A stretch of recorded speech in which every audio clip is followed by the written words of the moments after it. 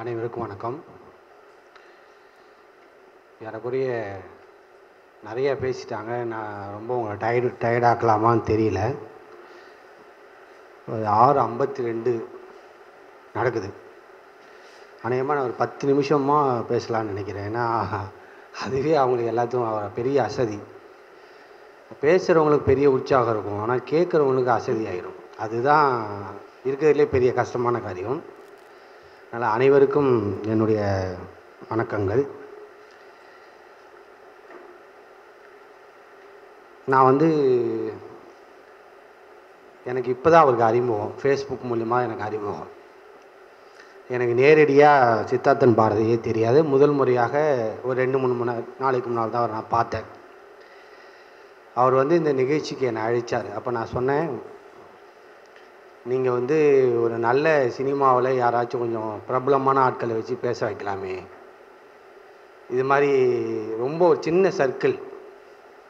Government Modi பாணியில் சொன்னால் நம்ம ஒரு துக்குடா துக்குடா.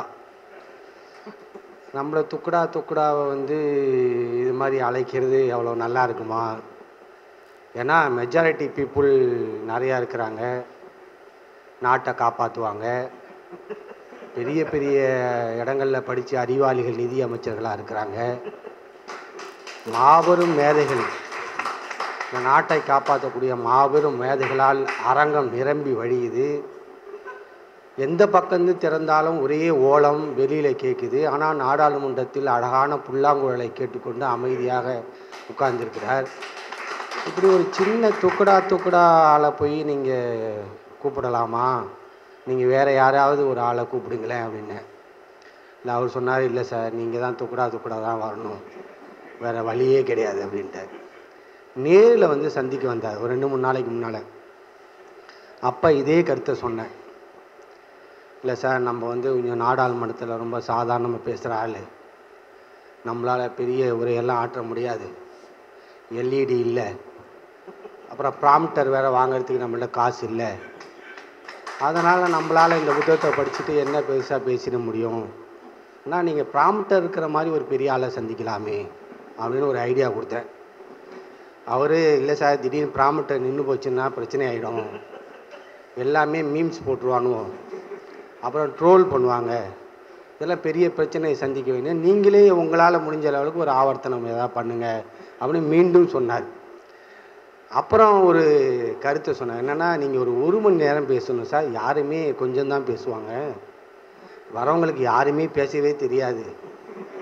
நீங்கள் தான் பெரிய ஸ்பீக்கர்னா அப்போ மெஜாரிட்டி பீப்புள் இருக்கக்கூடிய கட்சி போல இருக்குது ஒரே ஆள் ஊர் ஊராக போய் நாடு நாடாக உலகம் உலகம் பேசிகிட்டு இருக்க மாதிரி நம்மளை பேச சொல்கிறாரு அப்படின்னு நான் நினச்சிட்டு இருந்தேன். இங்கே வந்து பார்த்தா நீங்கள் வந்து துக்குடே துக்குடே ஆட்கள் மாதிரியே இல்லை.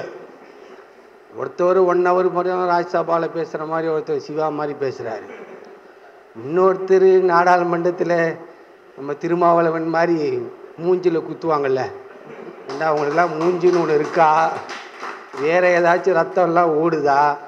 நாடாளுமன்றத்துக்கு வெளியில் எத்தனை பேர் நடந்து போயிட்டுருக்கான்னு பார்க்குறீங்களா தார் சாலைகள் முழுக்க ரத்த சாலைகளாக இருக்கே நீங்கள் பார்க்குறீங்களா ஒரு வருஷமாக வெளியில் விவசாயி உட்காந்துட்டு இருக்கானே இதெல்லாம் பார்க்குறீங்களான்னு மூஞ்சிலே அடிப்பார்ல அந்த மாதிரி பேசுகிறார் என்னடா நம்ம வாட்டம் இது துக்குடே துக்குடே மாதிரி வந்தோம்.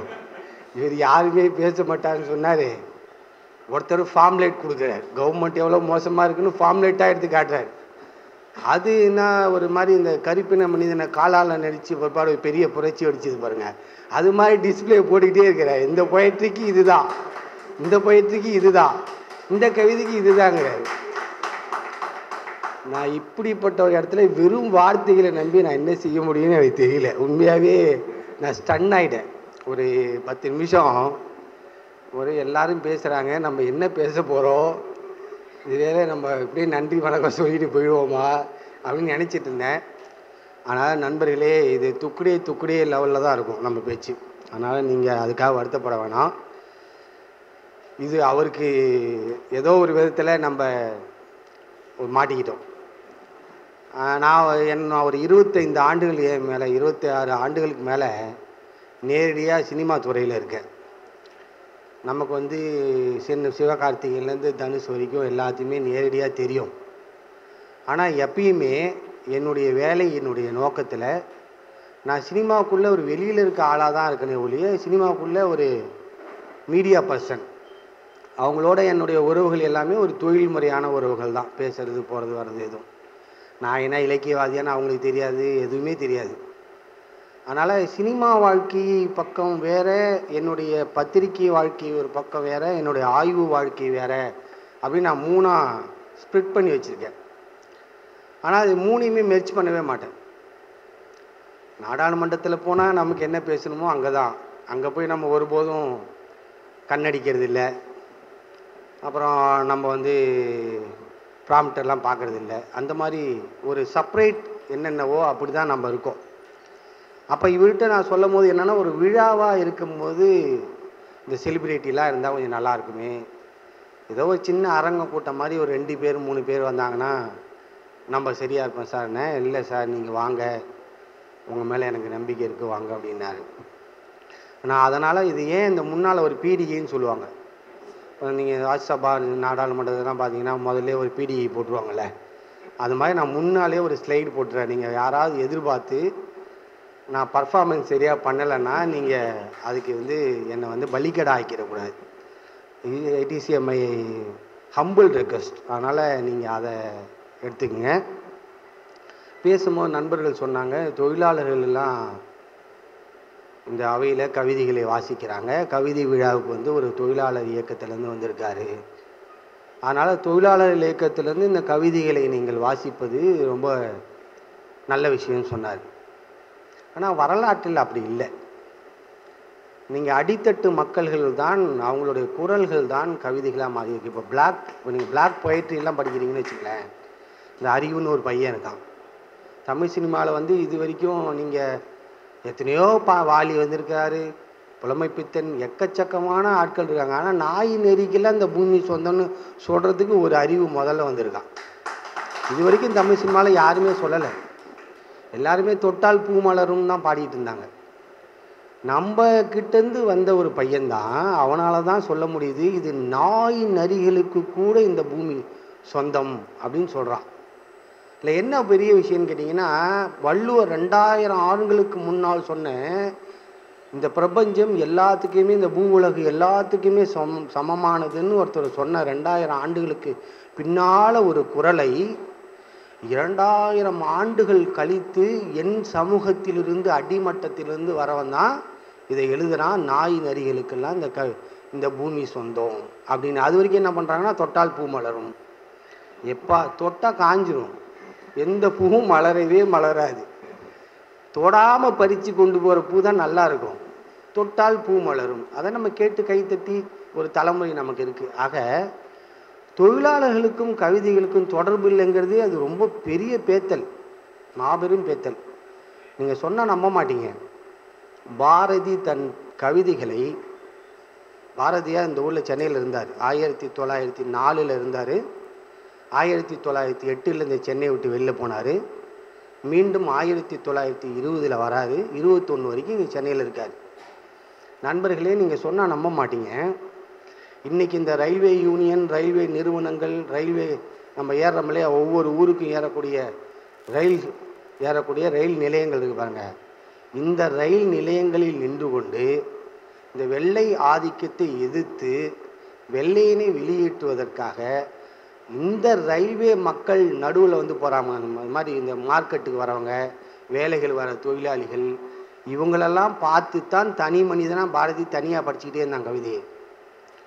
மாபெரும் ஒரு தொழில். இன்னைக்கு தமிழ்நாட்டில் நிறைய பேர் மறந்துட்டாங்க. என்னன்னு கேட்டிங்கன்னா தொழிலாளர் யூனியர்கள்லே நிறைய பேர் அவரை மறந்துட்டாங்க. திருவிக்கான ஒரு மாபெரும் மேதை. இந்த எல்லாரும் வந்து வெவ்வேறு கதைகள் பேசிகிட்டு இருந்தபோது தொழிலாளர்களுக்கு நீங்கள் அவருடைய நாட்குறிப்பை படிக்கணும். திருவிக்க அவனுடைய நாட்குறிப்பை ஒவ்வொரு தமிழனும் படிக்கணும். திருவிக்க அவனுடைய நாட்குறிப்பு மாபெரும் ஆவணம்.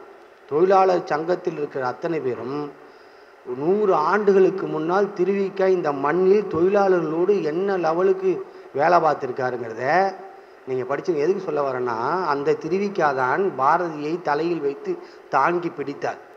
தேசபக்தன் ஒரு பத்திரிகை நடத்தினார். அதுக்கப்புறம் நவசக்தின்னு ஒரு பத்திரிகை நடத்தினார். இந்த பத்திரிகையை நான் முழுவதுமாக படித்திருக்கேன். ஆயிரத்தி தொள்ளாயிரத்தி இருபது ஆயிரத்தி தொள்ளாயிரத்தி பத்தொம்போதுகளில் வந்த பத்திரிக்கை அது. நான் லண்டனில் படித்தது இந்த பத்திரிக்கை தமிழ்நாட்டில் கிடைக்காது. ஆக ஆங்கிலேயர்கள் பாதுகாத்து வச்சுருக்காங்க. திருவிக்காவுனுடைய நவசக்தியையும் நீங்கள் வந்து தேசபக்தனையும் படிச்சீங்கன்னா மெட்ரோ ரயில்வே தொழிலாளர்களுடைய பிரச்சனை நீங்கள் வந்து சென்னையில் இருக்கக்கூடிய தொழிலாளர்களுடைய பிரச்சனை இதற்கெல்லாம் இடி முழக்கமாக தன்னுடைய வாழ்நாளை அர்ப்பணித்தவர் திருவிக்கா. அவர் ஃபோட்டோவை பார்த்தோன்னே உங்களுக்கு என்ன தெரியும்னா சாமியார் மாதிரி இருக்கும். நிறைய பேருக்கு இந்த திருவிக்கா ஃபோட்டோ பார்த்தாலே ஏதோ சாமியார் மாதிரி தோணும். ஆனால் இது ஏதோ ஒரு பிரேமானந்தா மாதிரி ஒரு ஆள் போல அப்படின்னு நினச்சிட்டு கடந்துடுறாங்க தலைமுறை.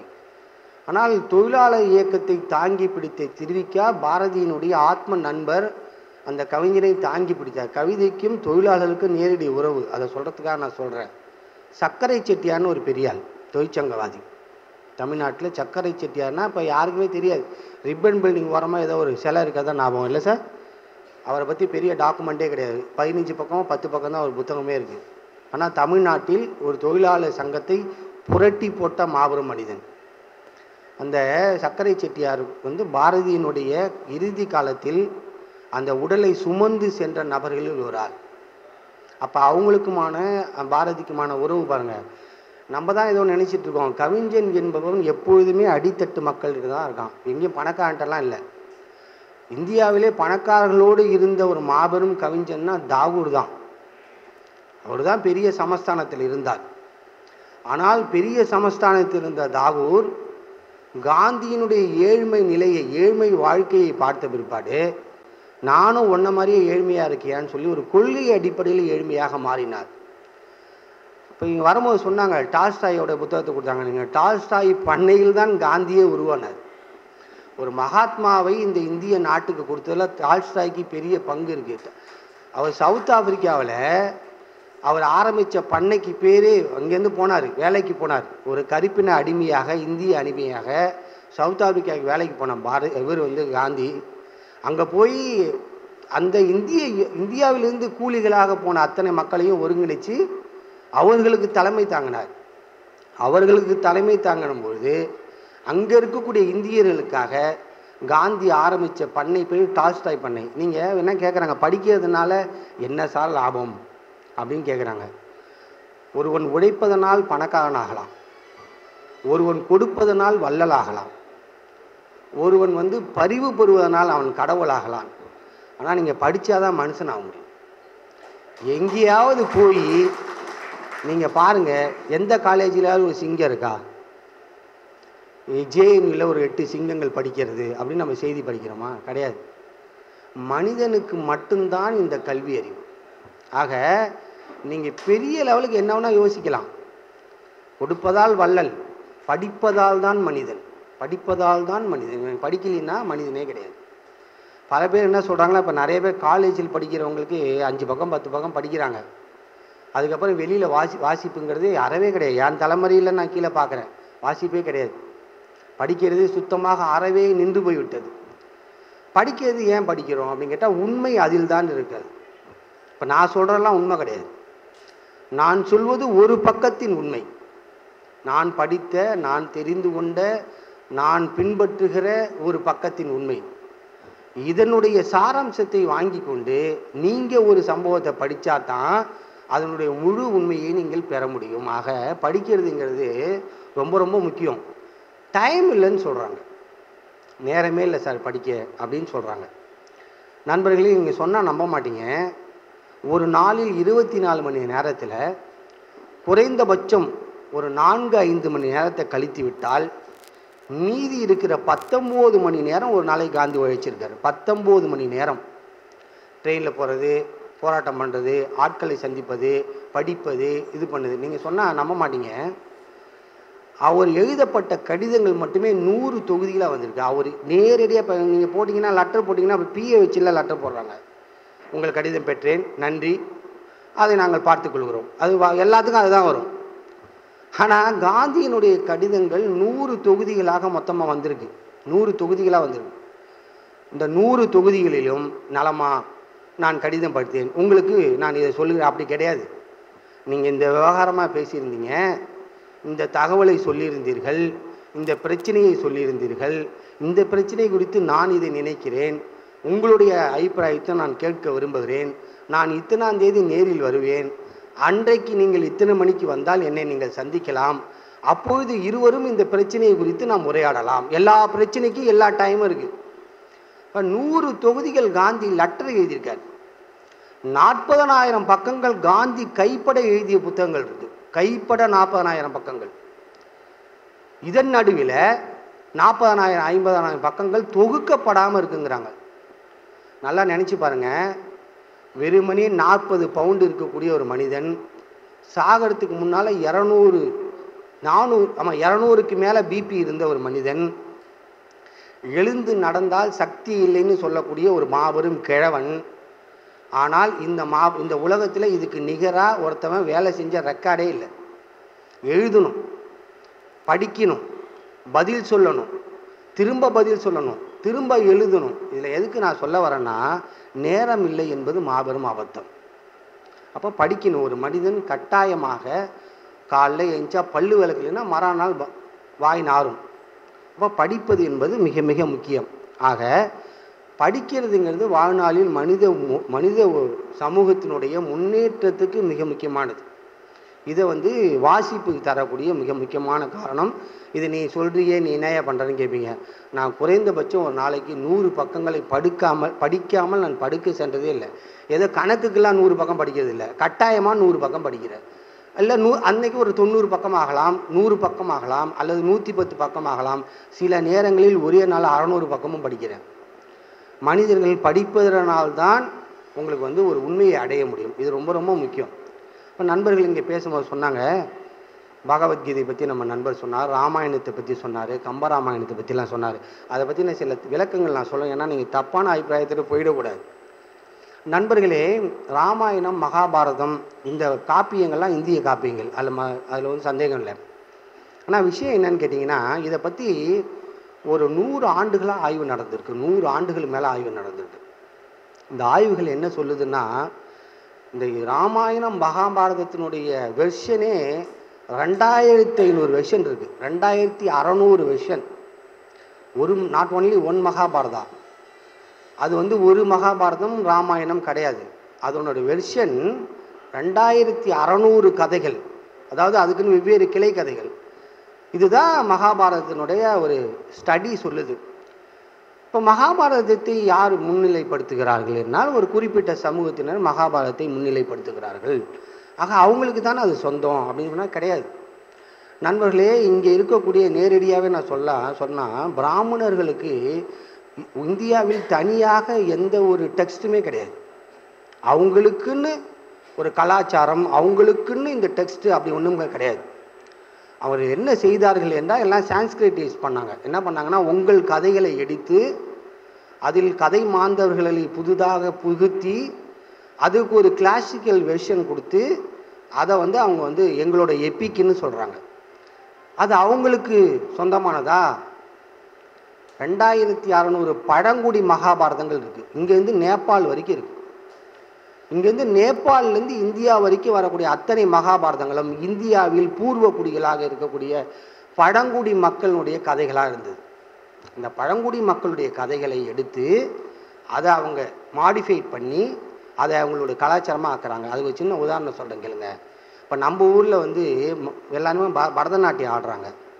பரதநாட்டியம் ஆடுறதுல அவங்களுடைய கலாச்சாரம் நீங்கள் இப்போ நம்ம ஆட்களும் கொஞ்சம் பரதநாட்டியம் ஆட வைக்கலாமே அப்படின்னு சபாக்கெல்லாம் போகிறாங்க நல்லது தான் ஆனால் இந்த பரதநாட்டியம் யாருடைய கலாச்சாரமாக மேலே பார்க்கப்படுகிறது என்று கேட்டால் அது குறிப்பிட்ட ஒரு சமூகத்தினுடைய அடையாளமாக பார்க்கப்படுகிறது. ஆனால் உண்மையாக பரதநாட்டியம் அவங்கள்தான் அப்படின்னு கேட்டால் கிடையாது. நீங்கள் சொன்னால் நம்ப மாட்டீங்க. இந்த பரதநாட்டியம் அவங்க கைக்கு போய் இந்தியாவில் குறைந்தபட்சம் ஒரு எண்பது ஆண்டுகள் தான் இருக்கும். அப்புறம் யார்?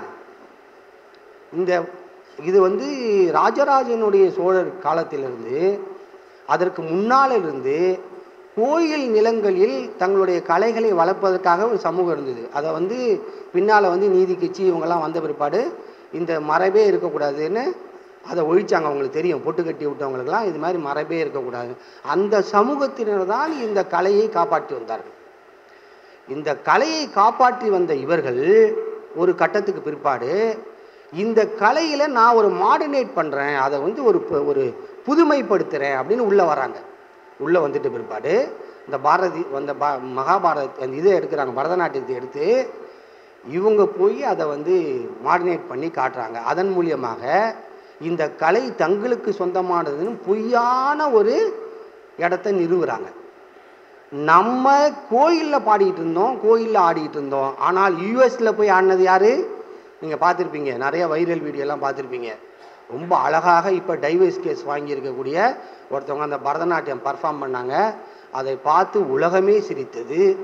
அப்படிப்பட்ட கலை வல்லுநர்கள் தான் அங்கே இருந்தாங்க.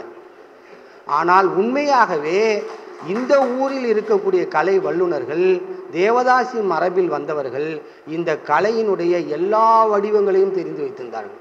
எல்லா வடிவங்களையும். நீங்கள் கோயிலில் பார்க்குற அத்தனை சிற்பங்களும் இந்த தேவதாசி மரபிலிருந்து வந்த வடிவங்கள். ஆகவே இவர்களுக்கு பரதநாட்டியத்தில் நேரடியாக நீங்கள் கொடுத்துட்டு போயிடக்கூடாது. இதெல்லாம் அவங்க கலை. நீ வச்சுக்கப்பா. மகாபாரதமாக எடுத்துக்கப்பா. அப்புறம் வேறு என்ன வேணும்? எல்லாத்தையும் நீங்கள் கொடுத்துட்டு போயிட்டீங்கன்னா நீங்கள் கலாச்சார ரீதியாக அனாதையாகி விடுவீர்கள். உங்களுக்கு என்ன டெக்ஸ்டே இருக்காது.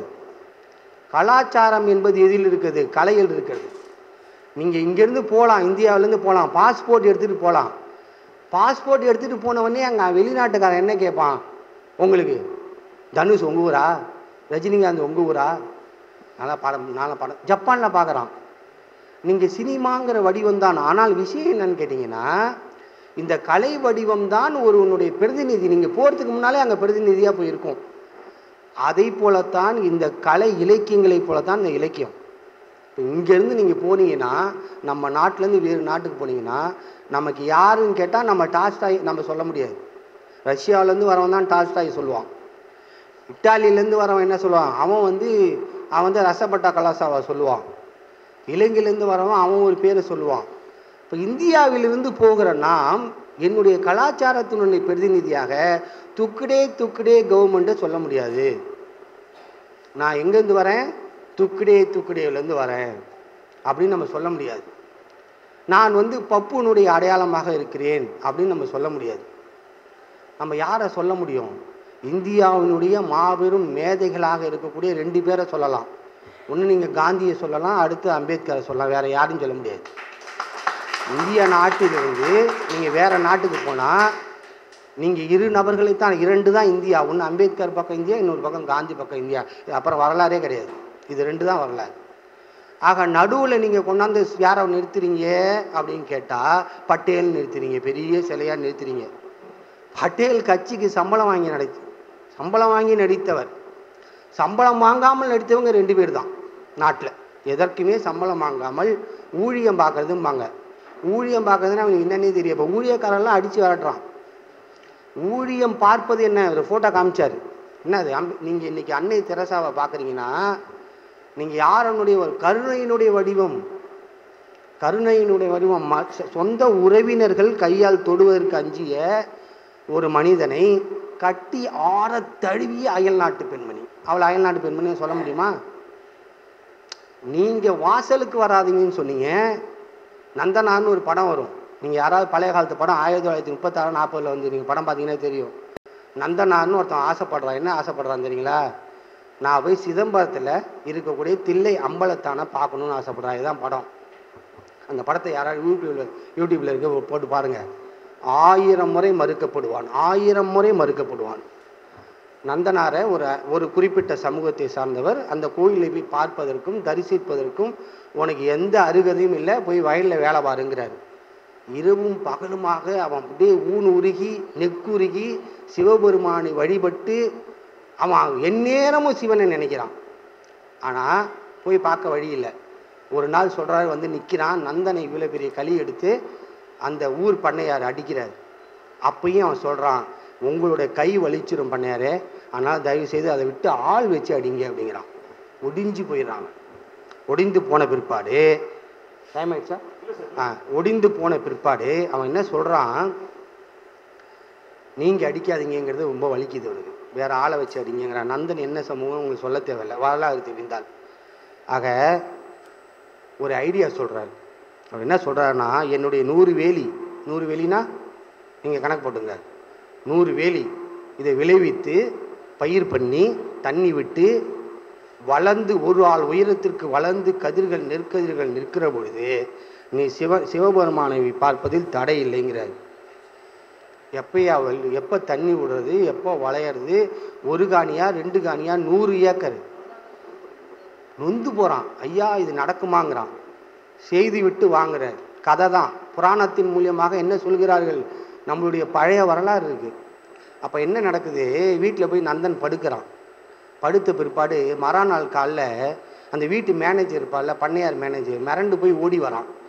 என்னடான்னு கேட்டால் மறாநாள் காலம் நூறு ஏக்கர் ரெண்டு ஆள் உயரத்தில் கதிர் நிற்கிது பண்ணையார் நேராக ஓடி வந்து பொய்யா இருக்குமோன்னு வந்து வயலில் பார்க்குறாரு வயலை பார்த்த பிற்பாடு ஆடி போயிடுறாரு நந்தனை பார்ப்பதற்காக சிவபெருமான் வெயிட்டிங் ஆனால் பண்ணையார் வந்து அக்செப்ட் பண்ணல. அப்போ என்ன நடக்குது? பண்ணையார்கிட்ட போய் சொல்கிறான் உண்மையான ஏறி வந்து பார்க்குறாரு இரண்டாள் உயரத்துக்கு உண்மையாகவே நெற்கதிகள் நிற்குது பார்த்து என்னடா நாலு வேளை பூஜை பண்ணுறேன் ஆறு கால பூஜை பண்ணுறேன் எனக்கு வராதவர் உனக்கு வராரா? நெல்லெல்லாம் இப்படி நினைக்கிறேன் தடாலும் கீழே விழுந்துடுறான். என்னை மன்னிச்சிடுங்கிறான் பண்ணையார். நீங்கள் என்னப்பன் அல்லவா என் பண்ண என்னப்பன் அல்லவான்னு ஒரு பாட்டு இருக்குது நம்ம பாமநாச சிவன் பா எழுதின பாட்டு. கேட்டிங்கன்னா உடம்பெல்லாம் சிலுக்கும். நந்தன் நடந்து போகும்போது எனக்கு ஒரு பெரிய கிளர்ச்சி வரும். மாபெரும் கிளர்ச்சி. என்னுடைய சமூகத்தினுடைய கிளர்ச்சியாக அதை நான் பார்க்குறேன். இது ஒரு கலை வடிவம். ஆக எல்லா கலை வடிவத்தையும் அவங்கள்ட்ட கேட்குறாங்க நம்ம கொடுத்துட்டு போயிட முடியாது. உண்மை நிலை என்ன? இந்த டெக்ஸ்ட் யாருக்கு சொந்தம்? இந்த பிரதி யாருக்கு சொந்தம்?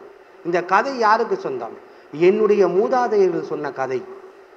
என் மூதாதையனுடைய தாழி எனக்கு சொந்தம் என்றால் என் மூதாதையனுடைய சட்டிப்பானை நோண்டுனா சொந் சொந்தம் என்றால் நீங்கள் வந்து மூதாதையர்களுடைய கருக மணி மணி வேறு சில பொருட்கள் எல்லாமே கற்பாறைகள்.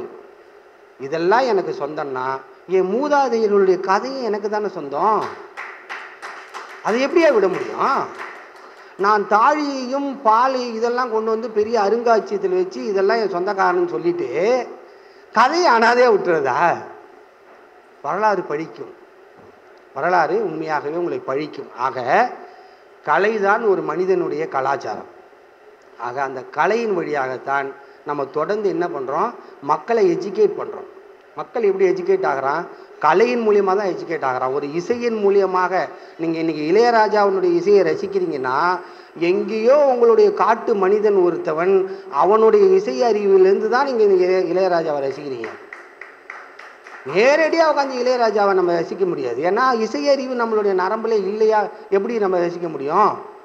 அப்போ எங்கோ ஒரு வயக்காட்டில் ஒரு பாட்டி யாரோ ஒரு கேள்வி அந்த வயல் கதிர்களை வேலை செய்யும் போது அயற்சி நீங்குவதற்காக பாடி அந்த தாளாட்டோ இல்லை ஒப்பாரியோ ஏதோ ஒரு வடிவம் தான் இசை இசையரா இளையராஜா நான் சொல்ல அவரே சொல்கிறாரு அவர் கொண்டு வந்து தன்னுடைய இசையில் வைக்கிறார். தாளாட்டு ஒப்பாரி தான் இன்னைக்கு நமக்கு ஒரு இசை வடிவமாக வருது. அப்போ தாலாட்டு ஒப்பாரியை உணராதவன் அதை அப்படியே விட்டுட்டு இளையராஜா பாட்டு மட்டும்தான் எனக்கு பிடிக்கும்னு சொன்னால் அது பெரிய கேப்பு பெரிய கேப் அப்போ ஒரு கட்டத்துக்கு அப்புறம் நீங்கள் என்ன ஆகும்னா உங்களுக்கு வரலாறு இல்லாது ஒரு உங்களுடைய பின்புலம் என்னன்னே தெரியாமல் போயிடும். ஆக இதில் என்னடா சொல்ல வரேன்னு நீங்கள் கேட்கலாம். சும்மா எங்கெங்கே போயிட்டு வர என்னன்னு சொல்லு அப்படின்னு கேட்கலாம். என்ன சொல்ல வரேன்னா கவிதைக்கு இரண்டாயிரம் ஆண்டுகள் பாரம்பரியம் இருக்குது இரண்டாயிரம் ஆண்டுகள். ஆனால் ஒரே நடைக்கு இரநூறு வருஷம்தான் வெள்ளக்காரன் வந்த பிற்பாடு தான் நம்ம வந்து அக்கா மகளே இந்து அப்படின்னு கவிதை எழுதுறதை நிறுத்திட்டு நம்ம ஒரே நடைன்னு எழுதணும். அன்புள்ள சகோதரர்களே அன்புள்ள மான்வெளியே ஆசையில் ஒரு கடிதம். நான் எழுதுவது என்னவென்றால் அப்படிங்கிற ஒரே நடையை பிரிட்டிஷ்காரன் வந்த பிற்பாடு தான் நமக்கு வருது. அதுக்கு முன்னாலாம் நீங்கள் என்ன பண்ணணும்? வெண்பா பாடணும் அகவல் பாடணும் பதியம் எழுதணும். இதுதான் நம்மளுடைய மரபு. ஆக கவிதைக்கு இரண்டாயிரம் ஆண்டுகள் கழித்து ஒரு மனிதன் தமிழ் மொழியில் ஒரு கலாச்சாரத்தினுடைய பின்புலமாக தான் இந்த கவிதை எழுதுகிறான் சும்மா கிடையாது. நமக்கு யாப்பு இருக்குது ஓசை இருக்குது எல்லாம் வெவ்வேறு வடிவங்கள் இருக்குது சிந்து இருக்குது நொண்டி சிந்து இருக்குது வெவ்வேறு வடிவங்கள் இருந்தக்கூடிய அத்தனையுமே கலெக்டிவாக நமக்குள்ளே இருக்கும் பொழுது ஒருவன் இதை உணராமலேயே அவனுக்கு ஆட்டோமேட்டிக்காக கவிதை வரும். இப்போ ஏன் ஏன் நம்ம கவிதை படிக்கணும் அப்படின்னு ஒரு கேள்வி இருக்குது ஏன் நம்ம கவிதை படிக்கணும்? நண்பர்களே இப்போ நான் வந்து ஒரு அரை மணி நேரம் பேசுகிறேன்ல இல்லை பத்து நிமிஷம் பேசுகிறேன்ல இதனுடைய மொத்த சாரம் சாராம்சத்தை ஒரு சின்ன கவிதை சொல்லிவிடும். பாரதி நூறு ஆண்டுகளுக்கு முன்னால் எழுதுகிறான் ஒரு ஜப்பானி ஹைக்கு வடிவத்தை பற்றி நூறு ஆண்டுகளுக்கு முன்னால் எழுதுகிறான் என்னன்னா நம்ம போயிட்டில் பக்கம் பக்கமாக எழுதுகிறோம் பதிகம்னா பத்து பக்கம் எழுதுகிறோம் கோயிலில் வந்து ஒரு ஒரு கோயில் புராணம்னா அதை ஒரு இருபது பக்கம் எழுதுகிறோம் ஆனால் ஜப்பான்காரன் இவ்வளோண்டு எழுதிட்டு போயிடறான். ஹைக்கு மாதிரி எழுதிட்டு போயிடுறாங்கிறார் நூறு வருஷத்துக்கு முன்னால் பாரதி எழுதுகிறார் நீங்கள் இதை புரிஞ்சுக்கிட்டாதான் தான் ஒருத்தனுடைய உன்னதம் உங்களுக்கு புரியும். அதுக்காக நான் சொல்கிறேன் அப்போ பாரதி நூறு ஆண்டுகளுக்கு முன்னால் ஜப்பானில் இருக்கக்கூடிய நோக்குச்சின்னு ஒருத்தனை பற்றி எழுதுறாரு. நோக்குச்சின்னு மாபெரும் போயிட்டவன் அந்த போயிட்டை பற்றி எழுதிட்டு எவ்வளோ சிறந்த கவிதைன்னு நூறு வருஷத்துக்கு முன்னால் எழுதின பாரதி அதனுடைய தொடர்ச்சியாக இன்றைக்கி சித் நம்ம சித்தார்த்தன் பாரதி என்ன பண்ணுறாருன்னா அவர் ஹைக்கு எழுதுறாரு பின்னால். இந்த ஹைக்கு வடிவத்துக்கு நூறு ஆண்டுகளுக்கு முன்னால் பாரதி ஒரு உறவு. நூறு ஆண்டுகள் பாரதி சொன்ன வழியில் வராது இப்போ நீங்கள் எப்படின்னா என்னுடைய பூர்வீக நிலம் என் தாத்தா கொடுத்தது.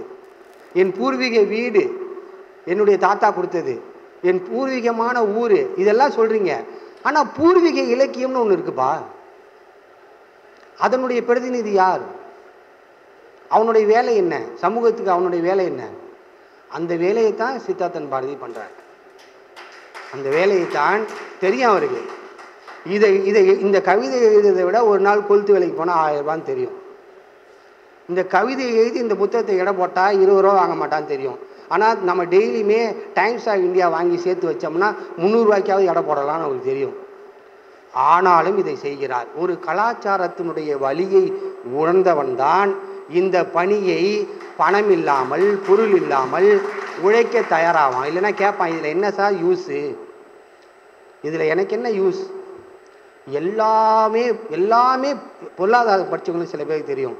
எல்லாத்தையுமே நீங்கள் ஒரு வரையறைகளை கொண்டு வந்தாங்க. கேமரா நீங்கள் பதினஞ்சாயிரம் ரூபா வாங்குறீங்களா பாஞ்சு லட்ச ரூபா வாங்குறீங்கன்னா ஒரு வாரம் கழிச்சு அந்த கேமரா பன்னெண்டாயிரம் ப- பதினஞ்சு லட்ச ரூபான்னா பன்னெண்டு லட்ச ரூபா ஆயிடும் ஒரு வீடு நீங்கள் வாங்குறீங்க ஐம்பது லட்ச ரூபா.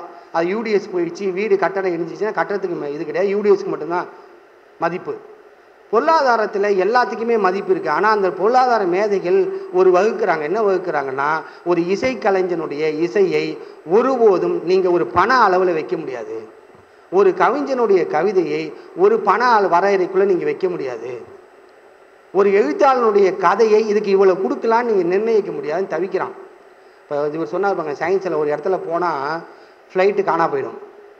அந்த மாதிரி பொருளாதாரம் கவிதை பக்கம் இலக்கிய முகம் தான் காணா போயிடுது. அதுக்கு வந்து ஒரு வேல்யூ இல்லைங்கிறான். நீங்கள் நிர்ணயிக்க முடியாது. டாஸ்டாயே நீங்கள் வந்து அதிகபட்சமாக நல்லா புரிஞ்சுங்க கலை வடிவத்தை மட்டும்தான் அது மட்டும்தான் வேறு சோலை போய் டச் பண்ணும். ரேப் இன்னைக்கு பாடுறான். எப்படி பாடுறான்? வட சென்னையில் போய் பாருங்கள் மிக சிறந்த அற்புதமான ரேப் பாடகர்கள் இருக்காங்க. யூடியூப்பில் கேட்டு ஃபுட்பால் விளாட்றவன் இருக்கான். அப்போ இவ்வளோ பெரிய ஒரு கலை வெறியை இந்த சம் இது எப்படி வருதுன்னா வேறு நாட்டுக்கும் நம்மளுடைய நாட்டுக்குமான ஒரு உணர்வை நம்ம எப்படி வரோம்னா கலையின் மூலியமாகத்தான் நம்ம பரிமாறிக்கொள்கிறோம். வேற எது என்னுடைய டாலர் அங்கே அனுப்புறதோ ரூபாவை அனுப்புனா ஐநூறுரூவா அப்புறம் பன்னெண்டு மணிக்கு டிவியில் வந்து ஐநூறுரூவாலாம் எடுத்துகிட்டு போயிடுங்க செல்லாதுன்றுவாங்க. அங்கே வாங்கி வச்சு அழுதுட்டு உட்காந்துருப்பான் நேத்தி தான் இவனை போட சொன்னான் குவி இப்போ தான் குருவி போட்டுது எல்லாமே போயிடுச்சு அப்படின்னு. குருவி போட்ட காசெல்லாம் நைட்டோடு போயிடுச்சு.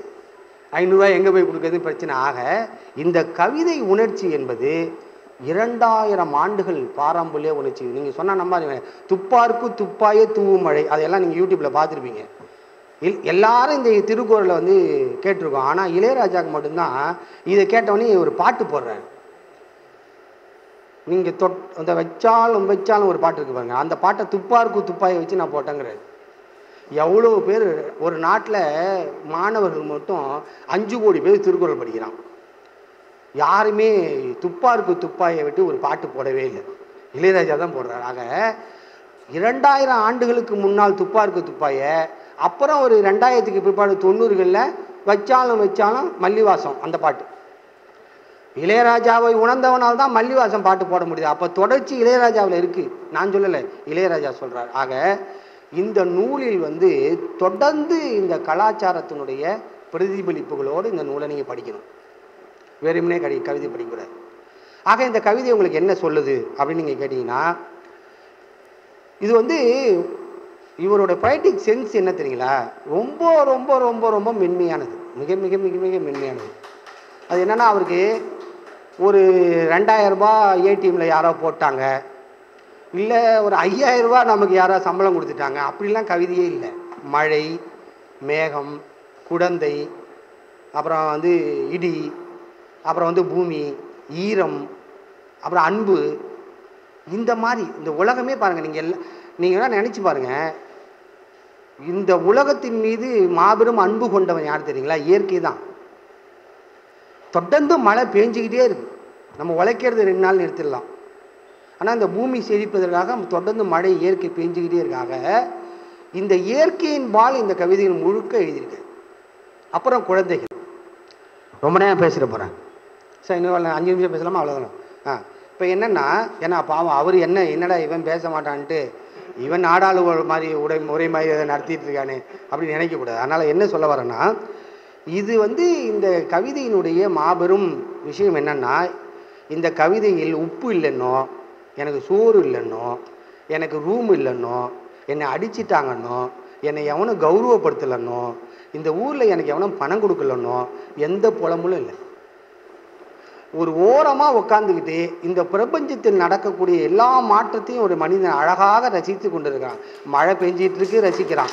வெயில் அடிக்குது ரசிக்கிறான். அன்பு வருது ரசிக்கிறான். புத்தரை கவுத்து போட்டு துணி துவைக்கிறாங்க ரசிக்கிறான். திரும்ப நிமித்தி உட்காராங்க சிரிக்கிறாரு ரசிக்கிறான். எப்படிங்க முடியும்? ஒரு பக்கம் இன்னொரு பக்கம் வழி நிறைந்த வாழ்க்கை. இந்த பக்கத்தில் இவர் எழுதுற என்ன எழுதுறான்னா ஜீலம் நதிக்கரையில் இருக்கக்கூடிய ஜீலம் நதிக்கரையில் இருக்கக்கூடிய அந்த கரை ஓரமாக இருக்கக்கூடிய அத்தனை இடங்கள்லையும் பிணங்கள் மிதக்கதா எழுதுறாரு. நீங்கள்லாம் பார்த்துருப்பீங்க. இப்போ கங்கையிலையும் மிதக்குது. பாரதி எழுதுறான் கங்கைபுர கங்கைபுரத்து கோதுமை பண்டம். அதை இங்கே இருக்கக்கூடிய வெற்றிலை பார்க்குக்கு மாறுகொள்வோங்கிறான். பண்டமாற்று முறை. கங்கையினுடைய விளையிற கோதுமையை கொண்டு வந்து நம்ம ஊரில் தஞ்சாவூர் பக்கம் இருக்கிற வெத்தலையை கொடுறாங்கிறான். மா பரிமாறிக்கொள்வோங்கிறான். ஆனால் இன்னைக்கு கங்கை நேரத்துலேருந்து நம்ம என்ன சொல்லணும்னா உங்கள் ஊர்லேருந்து பணத்தை கொண்டு வாங்க. எங்கள் ஊரில் கொஞ்சம் புதைக்க இடம் இருக்குது இல்லைன்னா சுடுகாடு காலியாக இருக்குது ரெண்டு சுடுகாடு காலியாக இருக்குது நீங்கள் வந்தீங்கன்னா இங்கே எரிச்சிக்கலாம் புதைச்சிக்கலாம். அதனால் நம்ம என்ன பாடணும்னா அந்த ஊரில் இருக்கக்கூடிய புடங்களை எடுத்துகிட்டு வாங்க. எங்களுடைய சுடுகாட்டில் கொஞ்சம் வச்சு எரிச்சிக்கிங்க. இப்படி தான் நம்ம பாட முடியும். ஏன்னா அந்த கவர்மெண்ட் ஏற்கனவே நான் சொன்னல துக்குடா துக்குடா டிஎன் என்டிஏ கவர்மெண்ட் நான் என்ன சொல்லுவாங்க நோ அவைலபிள் என்ன? No no data available no data available அதுதான் கவர்மெண்ட் நோ டேட்டா அவைலபிள்கிட்ட என்னென்ன இல்லைன்னா புனம் எரிஞ்சதுக்கு ரெக்கார்டு இல்லை. இப்போ எத்தனை பேர் நடந்து போனால் ரெக்கார்டு இல்லை? எத்தனை பேர் பணம் இல்லைனால ஏடிஎம் வாசலில் செத்து போனால் ரெக்கார்டு இல்லை? எத்தனை பேர் வீடு இழந்தான் ரெக்கார்டு இல்லை? எத்தனை குழந்தைகள் பாலால் பால் இல்லாமல் இறந்து போனது ரெக்கார்டு இல்லை? எத்தனை நாடுக்கு போனீங்க? ரெக்கார்டு இருக்குது நாடாளுமன்றம் எங்கே கட்டுறீங்க? ரெக்கார்டு இருக்குது எத்தனை மாட்டை கொளுத்துறீங்க ரெக்கார்டு இருக்குது எத்தனை பேர் அடிச்சிங்க? ரெக்கார்டு இருக்குது எத்தனை புள்ளு பிள்ளைங்கள வீட்டுக்கு வந்தாலும் உடச்சிங்க? ரெக்கார்டு இருக்குது எல்லாத்துக்குமே ரெக்கார்டு அப்போ எவ்வளோ பேர் வந்து பசு பண்ண வச்சுருக்கீங்க? ரெக்கார்டு இருக்குது எத்தனை பேர் கோமியம் குடிச்சிங்க? ரெக்கார்டு இருக்குது எல்லாமே இல்லை. கொடுமை என்னன்னு கேட்டிங்கன்னா நம்ம படிக்காமல் இருந்த காலத்தில் அவங்கெல்லாம் அவாள்லாம் என்ன சொன்னாங்கன்னா அறிவியலின் பால் முன்னேற்றம் அடைஞ்சு வாங்க. நீங்கள் சமூகத்தில் நாகரிகமாக மாறுங்க அப்படின்னு சொன்னாங்க. இப்போ நம்மளெலாம் நாகரிகமாகி நாசா வரைக்கும் போயிட்டான். இப்போ அவங்க என்ன சொல்கிறாங்க எல்லாத்தையுமே அறிவியலோடு பார்க்காதீங்க. நம்பிக்கைன்னு ஒன்று இருக்குது என்ன நம்பிக்கை? மாட்டு மூத்தத்தை பிடிச்சி குடிக்கிறது நம்பிக்கை. குடிங்கேங்கிறான். நாங்கள் குளிக்காமல் இருந்த பொழுது உன்னை தொடக்கூடாது நீ ரொம்ப தீட்டாக இருக்கிறவாப்பா அசிங்கமான ஆள் அதனால் வெளியிலே நில்லுன்னு சொன்னவங்க இப்போ நம்ம யூஎஸில் போய் நாசாவில் உட்காந்து நம்மளால் நிறைய சயின்டிஸ்ட் இருக்கான். எல்லாம் இந்தியாவில் உலகத்தில் எங்கே போய் இறங்கினாலும் நீங்கள் ஒரு இந்தியனை பார்க்கலாம். ஒரு சமூக நீதியின்பால் பயன்பற்ற ஒரு ஒரு மனிதனை நீங்கள் பார்க்கலாம். அந்த மனிதர்கள் எல்லாருமே வெல் செட்டில்டாக இருக்கான் ரொம்ப அழகாக சட்டை போட்டுக்கிறான். நல்ல ஷூ உட்லன்ஸ் தான் போடுறான். பிச்சை எடுத்தாலும் பரவாயில்ல உட்லன்ஸ் போடுவோம். பிராண்டாக இருக்கட்டும். அப்படி வந்துட்டான் இப்போ இவங்க என்ன சொல்கிறாங்க இல்லை இல்லை சார் நீங்கள் வந்து காவியில் ஒரு சின்னதாக ஒரு ட்ரெஸ்ஸு போடுங்க. அந்த இல்லை பேண்ட்டா வேட்டி மாதிரி கட்டு அது கொஞ்சம் கிளிங்க சார் அதுக்கு மட்டும் கட்டுங்க. லங்கோடா? இதை தான் ஏன் ரெண்டாயிரம் வருஷம் முன்னாடி கட்டணும்? இப்போ தானே மாறி பேண்ட்டுக்கு வந்தோம். ஆக என்டிஏ கவர்மெண்ட் அதனால் டேட்டா இவர்கிட்ட எல்லா டேட்டாவும் இருக்குது பிணங்கள் எங்கே எரியுதுன்னு சொல்கிறாரு மதங்கள் எங்கே எரியுதுன்னு சொல்கிறாரு மனிதம் எங்கே சாகப்படுதுன்னு சொல்கிறாரு எல்லா கவிதைகளுக்குள்ளேயுமே ஒரு ஆன்மாவை வைத்துக்கொண்டு தன் சக மனிதன் கஷ்டப்படுறத தாங்க முடியாமல் ஒரு மனுஷன் கேவரான் அவருக்காகலாம் இல்லை. ஏடிஎம்மில் பணம் போடுங்க எனக்கு ஏதாவது போடுங்க. அப்படிலாம் கிடையாது. இல்லை ஏதாவது கைலாசா மாதிரி ஒரு இடம் கொடுங்க. அந்த மாதிரி வந்து எந்த ஆசையுமே அவர் கிடையாது. அவர் என்ன நினைக்கிறார்? பசங்களை பசங்களை விரும்புகிறார் குழந்தைகளை விரும்புகிறார் அன்பு கொண்ட மக்களை விரும்புகிறார் ஏழைகளை விரும்புகிறார் இந்த கவர்மெண்ட்டில் ரொம்ப பிரச்சனையாக விஷயம்னா ஏழைகளை விரும்பவே கூடாதுங்க. ஆனால் ஏழைகளை இவர் விரும்புகிறார் ஆக இதெல்லாம் ஒருவேளை மொழிபெயர்த்தா பிரச்சனை ஆகிடும்னு நான் நினைக்கிறேன். இந்த மாதிரியான ஒரு இந்த எல்லா ஈழம் ஈழம் சம்பந்தமான ஒரு மாபெரும் பரிவு. எல்லா ப நான் கவிதையை ஏன் அவங்களுக்கு படித்து காட்டலன்னா இருக்கிறதுலே அபத்தம் அதுதான். என்ன காரணம்னா நம்மெல்லாம் படிக்கணும் படிக்கணுங்கிறதுக்காக தான் ஒரு ரெண்டாயிரம் ஆண்டுகளுக்கு முன்னால் நம்ம சொந்தக்காரங்களாம் ஒன்றா உட்கார வச்சு மகாபாரதத்தை ஒரு ஆள் படிப்பார். அவர் கொஞ்சம் படிச்சவரா இருப்பார். அப்புறம் கொஞ்ச நாள் வந்தது டீ கடையில் ஒரு பேப்பரை வச்சு ஒருத்தர் படிப்பார் எல்லோரும் நம்ம கேட்போம் இப்போ எல்லாருமே படிக்கிறதுக்கிட்டு யூடியூப்பில் உட்காந்துட்டு தான் எல்லாத்தையும் பார்த்துக்கிட்டே இருக்கோம் கேட்டுக்கிட்டே இருக்கோம். ஆக இது வந்து நீங்கள் படிக்கணும். கவிதை என்பது தன்பால் தன் உணர்வின்பால் ஏற்படக்கூடிய ஒரு எழுச்சி. அதை நான் மேடையில் உங்கள்கிட்ட கடத்தவே முடியாது. அதை நீங்களே ஆத்மார்த்தமாக உள்ளிட்டு அதுக்காக இவன் படிக்காமல் வந்து பேசுகிறான் நீங்கள் நினைக்கக்கூடாது ஏமாங்க பக்கத்தில் பக்கம் எல்லாத்தையும் கிழிச்சு பின்னாலெலாம் நிறையா குறிப்பு வச்சுருக்கேன். ஆனால் அதெல்லாம் பேசினா இன்னும் டயர்டாகிடுங்கிறதுனால இவருக்கு என்ன ஒரு அன்பு கொண்ட ஒரு விஷயம் என்னென்னா இந்த தொழிலாளர்கள் வராங்க அவங்க வெளியே அப்படிலாம் கிடையாது. இலக்கியம் என்பது எல்லா மனிதர்களுக்கானது. எல்லா ஜீவராசிகளுக்கும் அது வந்து அதில் ஒரு பங்களிப்பு இருக்குது ஆடு நரி கோழி எல்லாத்துக்குமே அதில் பங்களிப்பு இருக்குது ஆக இன்னும் சொல்லப்போனால் இந்த புத்தகம் நூறு வருஷம் கழிச்சு கரையானுக்கு கூட பிடிக்கும். அது கூட சாப்பிடும். ஆக எல்லா விதமான ஒரு ஏற்றத்தாழ்வுகள் இல்லாத ஒரு இடம். இலக்கியம் தான் அதில் தொழிலாளர்கள் வந்தாங்க அவங்க வராங்க இவங்க அதெல்லாம் கிடையாது. ஒரு மனிதனுக்கு ஒரு கவிதையை நேசிக்கக்கூடிய மனநிலையும் அதுக்கான ஆற்றலும் யாருக்குன்னா இருக்கலாம். படிச்சிருக்கலாம் படிக்காமல் இருக்கலாம். அதெல்லாம் ஒரு அது விஷயமே கிடையாது. ஆக எல்லா காலகட்டத்திலையும் ஒரு கவிதையினுடைய பால் ஒரு ஒரு சில குரு சில குழுக்கள் அந்த மாதிரி இந்த கல்லூரிகள் இந்த மாதிரி இந்த அந்த காலத்தில் சொல்லுவாங்களே மதுரை தமிழ்ச்சங்கம் அங்கெல்லாம் வச்சாதான் எடுபடும் அப்படி. இப்போலாம் அப்படி கிடையாது. டெமோக்ரஸி. இந்த கவிதையில் உடைய பெரிய டெமோக்ரஸி இருக்குது என்ன டெமோக்ரஸினா இரண்டாயிரம் ஆண்டுகள் கவிதை பாரம்பரியத்தில் எல்லாருமே வீரம் காதல் அப்படின்னு பாடிக்கிட்டு இருக்கும்போது முதல் மனிதன் பாரதி தான் வந்து ஒரு குழந்தைக்கு பாட்டு பாடினான். அதுக்கு முன்னால் பாட்டே கிடையாது.